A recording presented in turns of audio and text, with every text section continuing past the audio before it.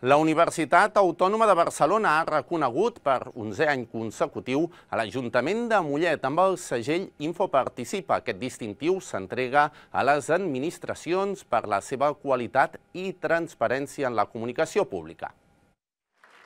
Dels 52 indicadors de transparència que analitza l'equip de professionals de la Universitat Autònoma, la web de l'Ajuntament de Mollet en compleix 50, és a dir, un 96%.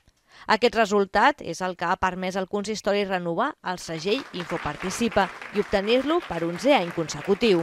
És una manera també de, per nosaltres també estar orgullosos de la feina que fem en matèria de transparència, eh, de donar compliment no només al que, al que fixa la llei de transparència, sinó anar més enllà, no? com són aquests eh, indicadors d'Infoparticipa, que t'otorguen aquest, aquest segell, una manera també de premiar tota la feina que es fa des de l'Ajuntament per, per garantir no, que tota aquesta informació sigui pública i accessible per, per tothom qui la vulgui consultar.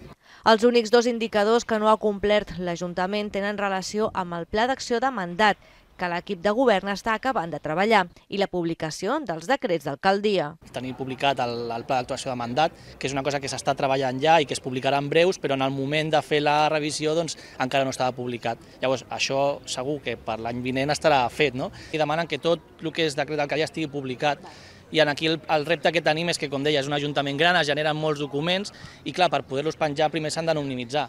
Llavors, clar, degut a l'alt volum de documents que hi havia, no, no hem tingut temps material de poder, per poder treballar-ho.